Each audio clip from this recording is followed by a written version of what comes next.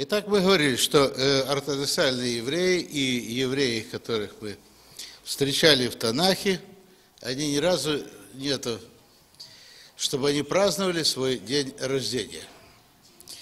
Интересно, что и в Танахе упоминается лишь один день рождения, день рождения фараона, который не был евреем. Берешит, то есть Бытие 40, дробь 20. Зато есть такое понятие, да, о смерти, годовщина смерти. Годовщина смерти называется Йорцайт. Йорцат или Йорцайт, да, это очень важная дата. Ближайшие родственники зажигают свечу, которая должна гореть 24 часа. В синагоге читается Кадиш. И такое внимание уделяется дню поминовению – потому что после смерти только видно, прожил ли человек достойную жизнь. В момент же рождения мы ничего не знаем о нем. Комментируя отрывок из Кагелета «День смерти лучше дня рождения», это Кагелет 7, дробь 1, Араби Леви объясняет, это можно сравнить с двумя кораблями, плывущими по океану.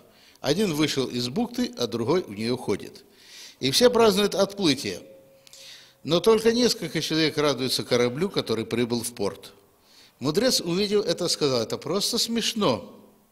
Ведь не стоит радоваться отплытию корабля, ибо кто знает, что с ним случится, какая погода будет в море, какие ветры ждут его. Лучше радоваться прибывшему судну, ибо оно успешно добралось домой. То есть еще наша смерть, можно сказать, с тем, что мы успешно добрались домой. Да? Настоящий дом у нас там, где мы будем после смерти. Да? Здесь есть временное жилище, потому что мы странники на этой земле. И даже наше тело – это тоже временное жилище. Хижина, правда? Хижина. Хижина, сука, вот когда мы будем праздновать Сукот, мы будем говорить о нашем теле как о хижине. О хижине, суке. Со смертью мужа или жены вы теряете настоящее. Со смертью родителя – прошлое – со смерти ребенка вы теряете будущее. Поэтому особенно тяжела да, смерть детей. Особенно тяжела смерть детей. Тем более, если, видите, человек пожилой, в возрасте он уже выполнил Божье предназначение, да, то ребенок не выполнил Божье предназначение. И эта э, смерть очень мучительна для родителей. И, естественно, это то, что какая-то причина не дала ему возможность прожить так, как Бог хотел. Но я вам скажу, что все-таки ранняя смерть детей иногда бывает и нужна. Э, помните, Изавель, мы уже говорили об этом, да? Э, э, было семейство Изавели, да, внучка, по-моему, ее, или внук, внук, внук, по-моему, Изавели, который умер в молодом возрасте. Мать пошла к пророку, чтобы он помолился за исцеление этого ребенка, когда он еще не умер. И пророк, когда начал молиться Богу, Бог ему ответил, что этот ребенок умер. Почему? Потому что в нем нашлось нечто хорошее. То есть ребенку было 4 или 6 лет. Вы представляете? И он умер, так Бог говорит, потому что нашлось в нем нечто хорошее. То есть он был избавлен – избавит от этого ужасного семейства. Если бы он вырос в этом семействе, что с ним было бы? Правда? Стал бы идолопоклонником. И потом бы они бы все погибли, вы помните, погибли они все в мучительной смерти в результате государственного переворота, да?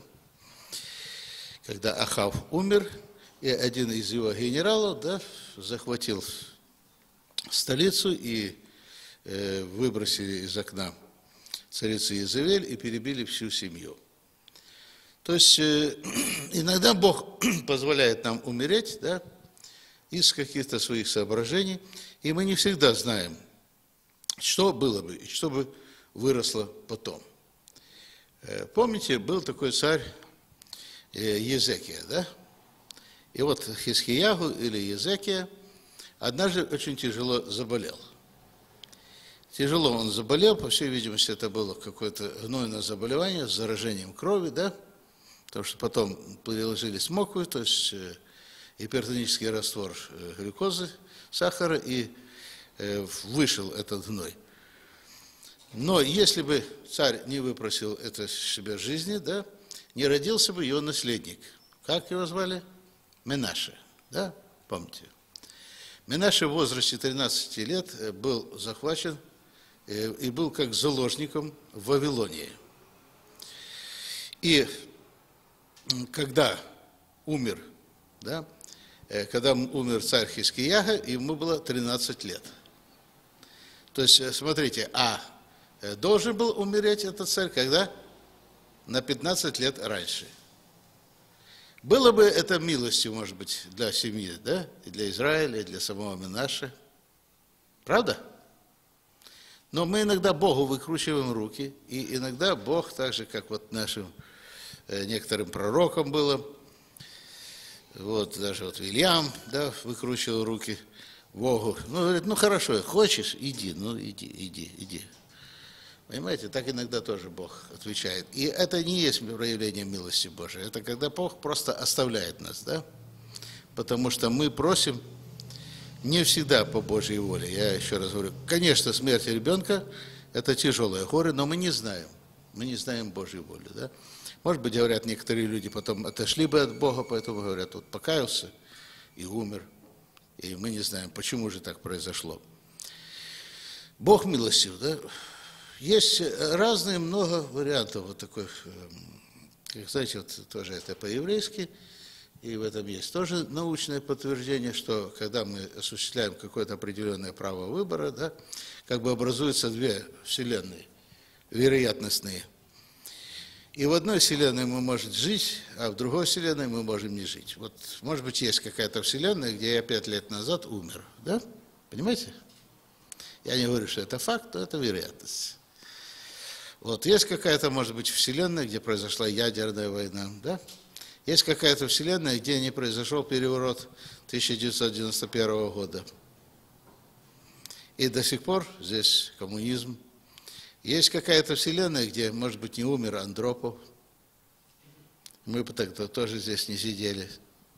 А сидели бы мы там, ребятки, не жиритесь, хлопцы, что-то с нами будет. Мы поедем на Камчатку, там и Бог там будет. Вы знаете, как Андропов преследовал верующих?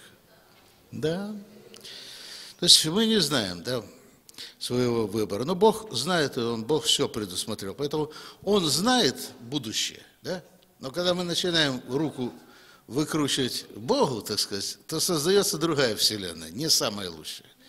Да, вот из всех возможных, поверьте мне, из всех возможных мы живем самым лучшим. Почему? Потому что Бог милостив. Бог милостив. Из всех возможных правительств мы имеем самое лучшее правительство. Понимаете? Из всех возможных финансовых положений мы имеем самое лучшее финансовое положение. Некоторые недовольны своим финансовым положением, но оно самое лучшее для нас. Потому что, не дай Бог, мы разбогатеем, да, будут у нас большие проблемы. Вы поняли? Что Бог для нас выбирает всегда самое лучшее. И э, если люди некоторые получают откровение от Бога и прекращают молиться, не всегда следует молиться за воскресение людей, да? Вот, не надо, да. Мы иногда просто держим человека на этой земле и не даем ему уйти. И это мучительно и для этого человека, и для Бога. Мы будем потом говорить о том, как поступали в таком случае еврейские мудрецы. То есть, видите, смерть ребенка – это страшно. Но иногда вот, это тоже Божья воля. И оно может создать, э, что-то меняет в нас, да, только мы должны это принимать, опять-таки, как Божий урок. Ни в коем случае не с горечью в сердце, да, не с болью в сердце. Мы должны научиться быть милостивыми, так как Бог оказывает милость нам. Мы должны научиться прощать, так как Бог прощает нам. Э, второе. Шмуэля 12.23. Давид говорил о смерти новорожденного сына. «Я иду к нему, он ко мне не возвратится». То есть э, есть много свидетельств, да, что дети, вот, а не так, как вы думаете, что ребенок, если умер, да, он стал, остался таким же младенцем ребенком. Я не знаю, каким он будет в вечности. Э, вообще нам трудно даже сказать, какие у нас тела будут в вечности. Знаете, может кто-то измерет 20-летнее тело, может кто-то и 50-летнее тело. Оно не будет просто знать болезни, да? Но мы видим, что некоторых встречает да, и видит, что это старец, да, старец. Предстает старцем Илья, да, предстает старцем Моисей, когда они встречаются с Иешуа. А почему же не смог себе Илья или Моисей сделать 20-летнее тело?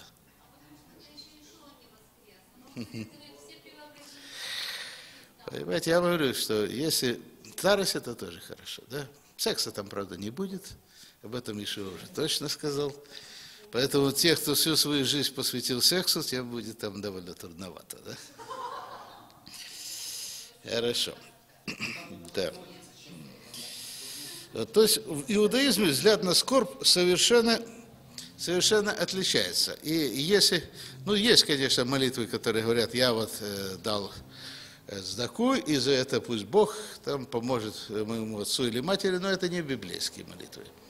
Мы будем э, говорить о кадишах, о поминальных молитвах. Они представляют собой не утешение для человека, не повествование о том, каким был умерший, да? а оно просто э, песня, прославляющая славу и величие Бога. Да? И прославляя славу и величие Бога, мы понимаем, что наше горе, да, по сравнению с Господом, по сравнению с тем, что Он для нас предназначил, это совсем даже не горе. И плач обратится в радость, да, и будут всем выданы между, вместо одежды и скорби радостные одежды. Будет нечто новое. Но в культуре языческой смерть представляет собой нечто страшное, да? А у атеистов смерть – это вообще исчезновение. Ну, может быть, для атеистов так было бы лучше. Знаете, такая была интересная личность, маркиз де Сад.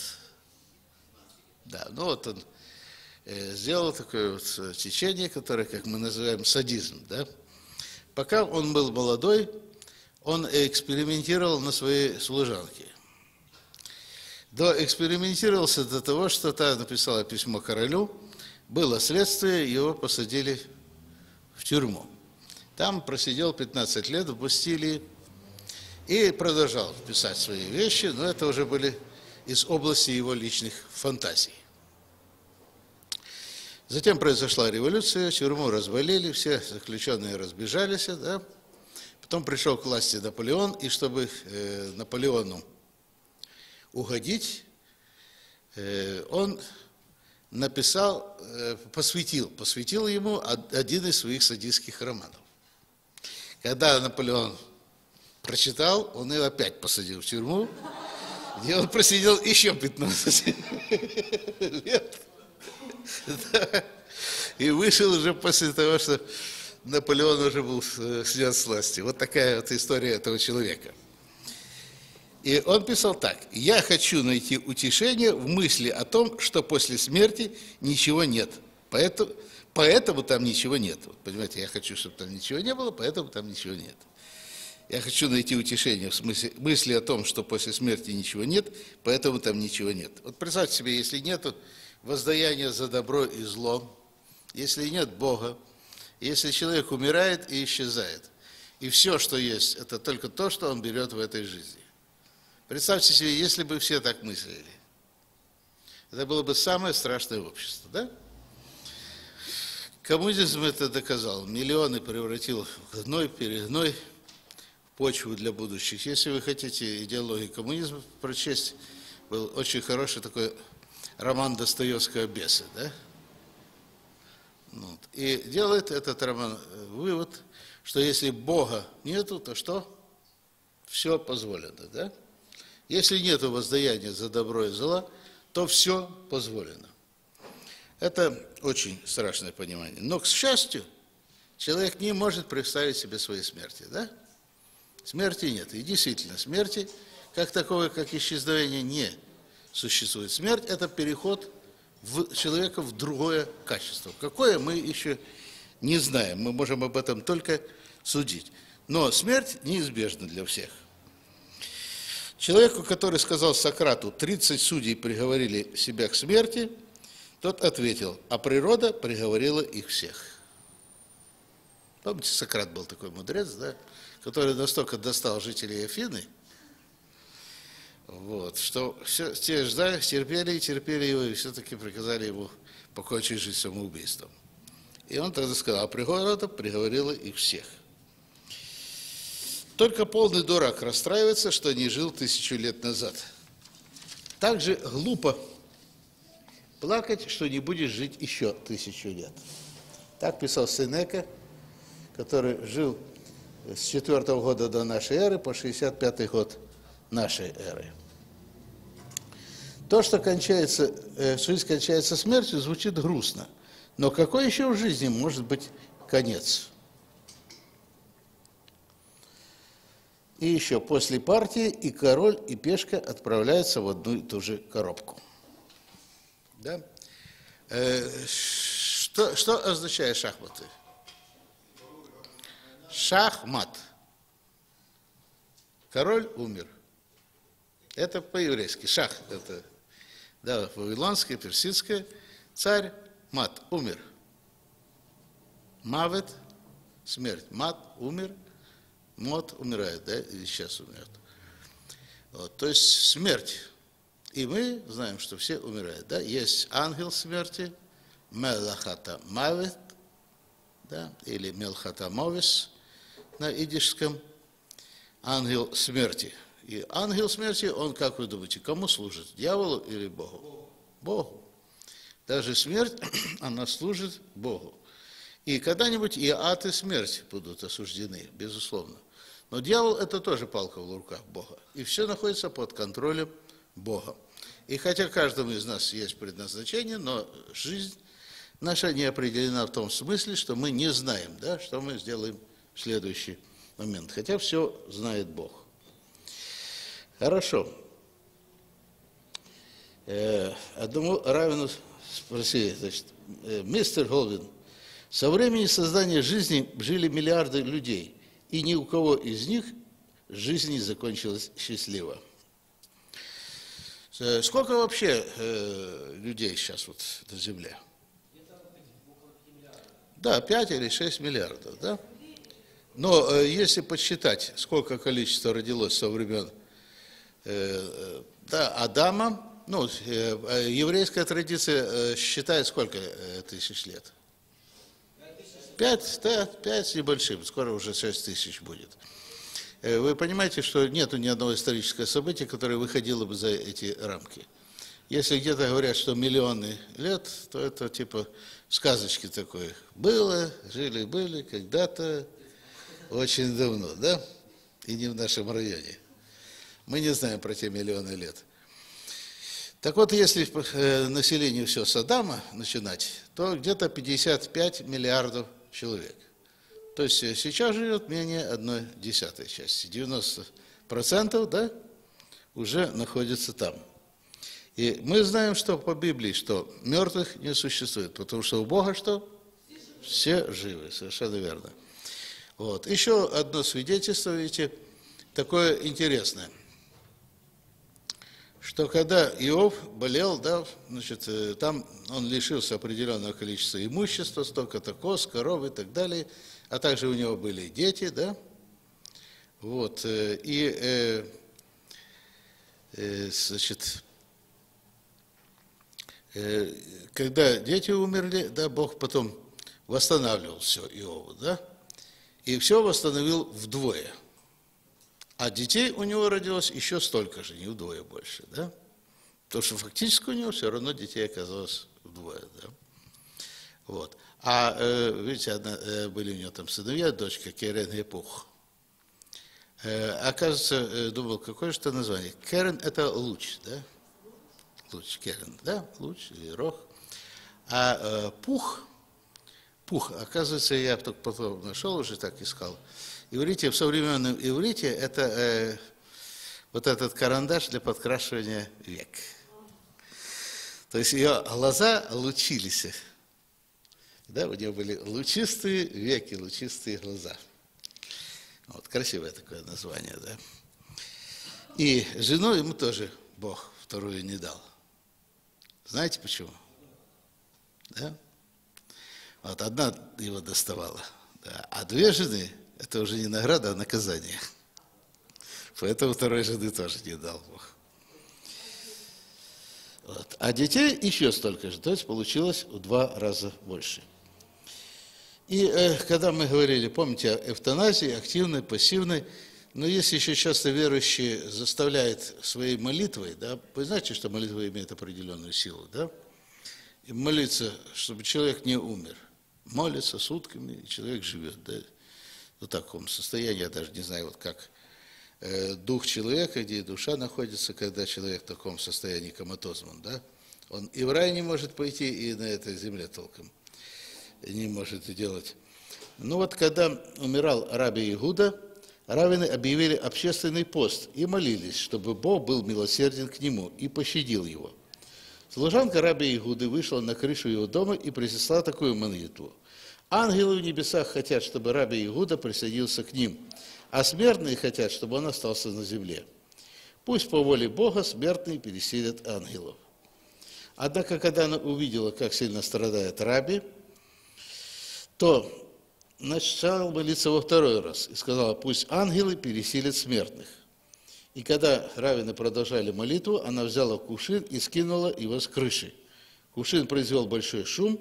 В этот момент раввины прекратили мгновение свою молитву, и душа раби Игуды отошла в небеса. То есть мы видим, да, что не всегда следует задерживать душу человека на этой земле. И большинство еврейских источников одобряют этот поступок служанки. Это Вавилонский Талмуд, трактат Ктубот. Рош ближайший друг и напарник Раби Ханана, умер. И Раби был в глубокой печали. Кто такой Рош? Глава да Ишивы или глава синагоги. Раби был в глубокой печали. Равины сказали, кто пойдет и отвлечет его разум от скорби. Пусть пойдет Раби Элязар бен Педар. Педар – это значит Федор, да, чтобы вы поняли. Элязар Федорович, ибо он умеет сочувствовать. Раби Элязар пошел и сел перед Раби Яхананом. Каждый раз, когда Раби Яханан говорил свое мнение по какому-то вопросу, Раби Элазар произносил, есть барайта, в которой говорится то же самое. Раби Яханан сказал – ты не похож на сына Лакиша. Каждый раз, когда я высказывал свое мнение, у сына Лакиша было 24 возражения, на которые мне приходилось давать 24 ответа, прям как у меня свечи. На каждое его возражение у меня 24, на каждое мое у него тоже 24. Поэтому мы можем спорить 24 часа в сутки. Это правильно, это по-еврейски. И так расширялось понимание закона. А ты говоришь, есть барайта с таким же мнением. Разве я сам не знаю, что я прав? Он продолжал рвать на себе одежды и плакать, крича, где ты, сын Лакиша? Конце концов, он потерял разум, раввины молились за него, и он умер. То есть, не всегда наше утешение бывает хорошим, правда? Вот. Третья история, которая о смерти в Талмуде, рассказывает тоже о рабе по имени Хони – Хони увидел, как человек сажает кедровое дерево. Ну, вы знаете, кедр, да, кедр это сосна, да, и для того, чтобы вырасти до такого состояния, чтобы он плодоносил, нужно несколько десятков, а то и несколько сотен лет. Вы знаете, что раньше в Израиле кедры росли, потом их вырубили, да, на Ливане были строевые кедры. А самые большие кедры, секвои, им вот как раз где-то по 6 тысяч лет, да. Возможно, они даже пережили потоп. И вот сажает этот человек. Сколько лет пройдет, пока у этого дерева посадились, э, появятся плоды, спросил он. 70, ответил человек. Хони сказал, ну ты думаешь, что проживешь еще 70 лет? Зачем тебе работать над тем, что не принесет тебе никакой пользы? Человек ответил, я пришел в мир, в котором уже росли зрелые кедры, посаженные моими предками. И теперь я сажаю кедр для своих детей. После этого Хони сел, поел хлеба. Потом он задремал. Несколько камней скатились на него, а его не было видно. И спал он 70 лет. Знаете, есть всегда сказки таких людей, как один там, помните, проснулся, э, американская тоже сказка, как там его звали, проснулся, там был еще Новый Амстердам, да, спал, да, заснул, потом был Нью-Йорк. Забыл, как его, есть такие, да, случаи. Да, то есть вот, э, ну это легенда, конечно, что он задремал и так проспал 70 лет. И проснулся и увидел вроде бы того же человека, срывающего орехи с этого кедра. И Хони спросил ее, ты посадил это дерево? Он ответил, нет, я внук этого человека. Хони сказал, кажется, я проспал 70 лет. Пошел он к себе домой и спросил там, жив ли еще сын Хони? Ему ответили, сын нет, но жив еще его внук. И он сказал им, я Хони. Они ему не поверили. Он пошел в дом учения, где услышал, как Равин говорит, эти законы так же ясны нам, как когда они были ясны во времена Хони. Потому что когда Хони приходил в дом учения, он разъяснял все непонятные вопросы. И тогда Хони сказал всем им, я Хони. Они тоже ему не поверили. И не воздали ему должных почестей, так как приняли его за сумасшедшего. Хони затасковал, молился небесам о милосердии и умер. И Арав сказал, это пример правдивости известной пословицы. Или друзья, или смерть.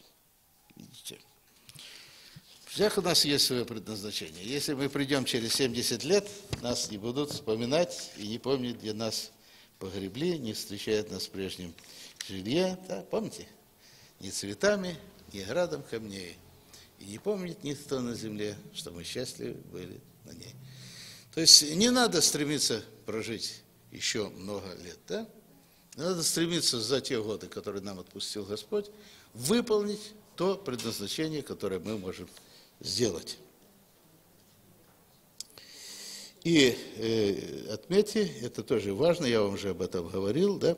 Шульхан Арух, Шульхан Арух говорит так – если человек близок к смерти, запрещено покидать его, чтобы он не умер один. Быть с человеком в момент его смерти – это заповедь. Это очень важно, да? Потому что когда человек умирает в одиночестве, он испытывает ужасный страх, ощущение покинутости, да? И может тогда он даже, не дай Бог, возрастать на Бога, правда? У нас часто люди умирают в одиночестве, где-нибудь в больнице, сунут его где-то в уголок – и все, и забудут, и он придет. Да, ну, такой случай тоже у меня был однажды. Вызвали меня. Ну вот тут, э, знаете, Клюшка называется, Клюшка называется здание. Э, да, на Чапаевской дивизии. Да, вот как раз в это здание меня вызвали, я врачом был, работал в 20-й поликлинике. И прихожу, значит, э, лето было, там какая-то бабушка-старушка, а это, значит, э, в понедельник я э, прихожу, а там лежит, значит, ее. Говорит, я спрашиваю, ну что там такое? Да вот, говорит, в субботу приехала скорая помощь, сказали, чтобы вызвать врача и его не трогать.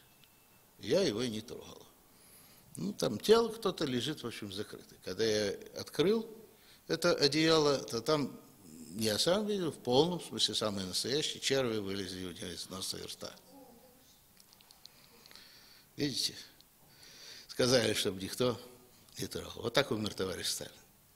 Когда Берия сказал, товарищ Сталин не болеет, товарищ Сталин спит. Вот поэтому существует еврейская традиция, да, сидеть у постели умирающих. Хотя это нет заповеди прямой в но это о том, что человек должен тоже достойно умирать. Итак, записали, если человек близок к смерти, запрещается покидать его, чтобы он не умер один. Раби Салантер, о котором мы говорили, раби Израиль Салантер, был болен, и еврейская община наняла ему компаньона. Компаньон был хорошим, простым человеком. Однажды поздней ночью, когда раби почувствовал, что его смерть близка, он провел последние моменты своей жизни убеждая компаньона не бояться быть одному в комнате с трупом. Интересно. Раби в своей жизни, в своей смерти, да, уговорил человека не бояться быть в одной комнате с трупом. Вот так человек жил, да, так человек учил, и так человек умер. Ради однодневного младенца можно нарушить шаббат, но ради Давида, царя Израиля, уже умершего, шаббат не может быть нарушен. То есть любая жизнь даже младенца, которого несколько только часов, да, она важнее, чем Давид, царь умерший. Потому что ради Давида уже шаббат можно не нарушать. А, естественно, жизнь младенца в опасности, да? О похоронах мы поговорим позже. Мы сейчас говорили о еврейской мудрости, да, об умирании. Э, но все-таки, как вы думаете, что же происходит, когда человек умирает?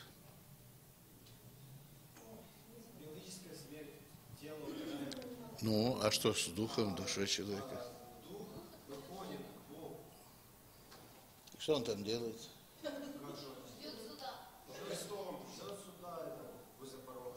Идет туда, идет сюда, да, да, да, да, да, да, да. да. Видите, получается, мы, как говорим, ушел в вечность, да? Говорят, есть в одной церкви такой хор или ансамбль, который называется «Вечность». И когда спросили про одну девушку, которая пошла в этот ансамбль работать, где она теперь, что-то я не вижу, она ушла в вечность. Да. Итак, что же такое вечность? Видите, вечность, когда говорят э, о вечности, некоторые представляют, что это очень много времени. Понимаете? Очень много времени. Вот. Надо какое-то подумать. Э, ну, например, Амар Хаям, знаменитый певец, море переводится, если с иврита его имя. Он был философом, он был астрономом, он с поэтом прекрасным был, да, создал самый точный календарь в мире, точнее всех календарей. Да, еще точнее даже того календаря, которым мы пользуемся, но так как он еще сложнее, чем еврейский календарь, этот календарь не нашел э, своего применения. И Амар говорил так, есть огромная алмазная скала. И раз в тысячу лет маленькая-маленькая птичка прилетает, чтобы почистить свой клювик. Вот она там почистит свой клювик и тут же улетает. Ну, через тысячу лет она перелетает. И вот когда вся эта алмазная скала сотрется, тогда пройдет один миг вечности. Но современная наука говорит, что вечность – это нечто другое. Да? Вечность – это нечто другое. В каком мы пространстве живем? Сколько мерном? Четырехмерном пространстве, да. Потому что время – это то же самое свойство пространства. Только для нас оно идет да, в одном направлении. Но если мы посмотрим с точки зрения пятого пространства, то мы тоже будем находить да, вот, и время нам покажется статичным каким-то таким. Вот э, интересно, что э, когда Иешуа приходил к ученикам, он проходил сквозь закрытые двери, да, вот, он э, мог э, перемещаться, помните, э, какой, э, он оказался там в Эмаусе, да, потом вдруг в тот же день оказался в Иерусалиме, там, где сидели ученики, да, телепортация, телекинез – Видите, когда мы живем, да, вот есть, знаете, такая модель, да, плоскатики, то есть существа, которые живут в одной плоскости, да? Плоскатики. Вот они, вот эти, это если плоскость стола, это их мир, да? И э, для того, чтобы представить себе вот это измерение, они просто не могут, ну, разве что теоретически. Вот так они, как амебы, ползают, да? Вот для того, чтобы пройти с этой части до сюда, они должны совершить очень большую, да? А если мы возьмем и проколем иглой эту точку, то кончик иглы окажется с этой стороны. То есть нам покажется, что это произошло мгновенно, да? Э, представьте себе, что ученики Ишуа плоскатики. Да? Да. А мы с какого-то измерения, которое выше, да, n плюс один. И мы видим комнату, в котором находятся ученики Ишуа. И дверь здесь закрыта, да? И дверь здесь закрыта. И ходят вот тут плоскатики, ходят тут плоскатики, молятся плоскатики, и вдруг появляется Ишуа. Если бы Ишуа был таким же плоскатиком, дошел бы он до этой двери, покрутился бы и пошел на, обратно, да? А Ишуа раз и переместился в это пространство. Раз и переместился в это пространство. Да? Побыл с ними, они видели от Иешуа только вот кончик моего пальца. Да? От Иешуа видели только кончик моего пальца. Пообщался он с ними раз и переместился куда-то к Небесному Отцу. То есть э, обычно так вот считали, знаете, Бог где-то сидит на небесах, да, Бог где-то на втором, на третьем небе, да. Есть множество, да, есть множество э, разных измерений. Э, есть некоторые э, такие размышления об этих измерениях. Вот представьте себе, что мы живем в четырехмерном пространстве, да? В пятимерном пространстве, где пятое будет измерение время, наше четвертое будет стабильно, да? Бог может создать, Бог бесконечен, поэтому может создать n-мерное пространство, где n равно бесконечности, да? Но если Бог создает пространство, где n равно бесконечности, следовательно, сам Бог, по крайней мере, n плюс 1. Да? n плюс 1, то есть больше бесконечности. Есть еще другие размышления. Э, вы знаете, что сама идея множественности миров, да, это взято, вы читали фантастов, да, разных. Вот сама идея множественных миров – Э, она взята из Талмуда, да? Из, э, даже не из Талмуда, а из Кабалы, да. Из Кабалы существует 10 сферот. Ну, сфера это не сфера, а сиф, цифра, э, число 10 сферот. Некоторые говорят, что их существует в позитивном смысле 10 сферот, и еще сфероты, как говорится, потустороннего царства, да, где Земля занимает вот какую-то, некоторые говорят, что она занимает из этих десяти седьмую сферу, да? поэтому говорят, до седьмого неба, где присутствие Божие. Павел говорил э, о скольки пространствах? Да, по крайней мере, о трех, да? Значит, мы, да, здесь находимся, да, небеса, и небеса небес. И небеса мы не знаем, это является ли еще одним измерением пространства, то есть 4 э, плюс 1, 5, а то еще 6 э, получается, да? Вот, либо это говорится о физических небесах. Потому что есть земное, да, небесное и преисподнее.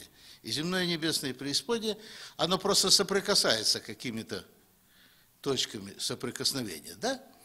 Ну вот мы, например, э, можем видеть э, э, живые существа такого потустороннего мира, как мы говорим, в виде каких-то призраков или бесплотных тел. Физик Савченко, киевский физик Савченко, не знаю, живой он сейчас или нет, но он составлял э, во времена Чернобыля доклад для МАГАТЭ и сделал такие потрясающие выводы, что его доклад сразу спрятали в, да, в сейф. И больше не показывали, публиковали только в одном научно-фантастическом романе, как научную фантастику. Ну, короче, он почитал вероятность того, что не произошел такой ядерный взрыв, который бы составил воронку 500 километров, и чтобы ничего не живого, э, живого не осталось бы э, до широте Ленинграда, да? До Ленинграда. Это, вот эта вероятность, в которой мы живем, она вообще настолько ничтожна, что невообразимо мала. И он прямо говорит в своем докладе, что это есть подтверждение существования Бога. Видите, когда мы говорим о числе π, оно 3 и 14 сотых. Вот эти 14 сотых, это есть пробой в другое пространство, в другое измерение. Поэтому, возможно, есть э, перемещение в э, времени, по крайней мере, Кабала, она утверждает, что такое возможно. Ну, нет доказательства, что такое невозможно. Да, вот мы живем, весь этот мир колеблется – Весь этот мир колеблется. Это нулевое колебание вакуума. Да, вот здесь появляется, а здесь исчезает. Помните, мы говорили, с определенной частотой. Миллиарды, миллиарды там этих герц, чего-то, то есть не существует, вот как кадры фильма, не существует движения. Весь мир разрушается, исчезает и потом опять возникает. И можно создать мир, сдвинутый по фазе относительно этого мира и так далее, сдвинуты по фазе относительно этого мира. Если вот эти фазы приближаются к друг другу, мы можем видеть существа того мира в виде таких вот силуэтов, да? или каких-то объектов. Да, если пересекается, то можем вступить в контакт. То есть, если происходит сдвиг по фазе времени вот этого четвертого пространства, э, измерения пространства, которое нам мало что известно. Да, вот такие призраки и так далее. То, что мы видим, это может быть тоже вот типа пробоев этого пространства. Вы знаете, очень интересные вещи. Что там говорить про эти НЛО? У нас эти НЛО летают э, чуть ли не на каждом служении. Вы знаете? Летают прямо в церкви.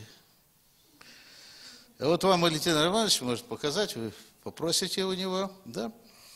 Э, когда молятся усиленно люди, когда молятся усиленно люди в духе, то возникают какие-то сгустки энергии, которые мы не видим, но которые видны на фотографии. Вот. И иногда это может быть видно, даже настолько энергия достигает такого же потенциала, потому что мы видим не во всех спектрах, да, а спектр фотографии, который она воспринимает шире. Да?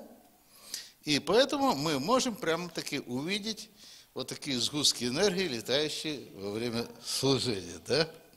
Да, может быть, это, может быть, так вот ангелы могут представляться, если из пятого измерения. Да? А если ангел предстает в нашем видении, да, мы можем один человек видеть, а может иногда и много людей видеть одно и то же видение. Да? То есть это реальность, это реальность, доказанная наукой.